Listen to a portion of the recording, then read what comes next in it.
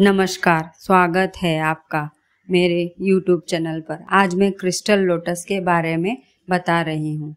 इसे आप living room में भी रख सकते हैं और धन रखने के स्थान पर भी रख सकते हैं। यह माता लक्ष्मी को अति प्रिय है। यह सुंदर होने के साथ साथ प्रसन्नता भी देता है।